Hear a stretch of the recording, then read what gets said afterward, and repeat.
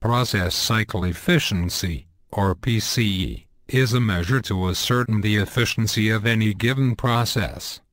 Thus, it can be used as a universal metric to compare dissimilar processes and for prioritizing improvement opportunities. Process cycle efficiency is equal to value added time divided by lead time. If a process consists of only value-added activities, then the process cycle efficiency would ideally reach a maximum of 100%. Here are some typical process cycle efficiencies in the service sector. The key to improving process cycle efficiency is to reduce lead time. In practice, PCE will exceed 25% for processes that have been improved through the use of lean methods.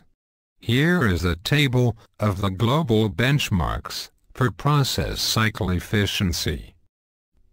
Please review and move forward.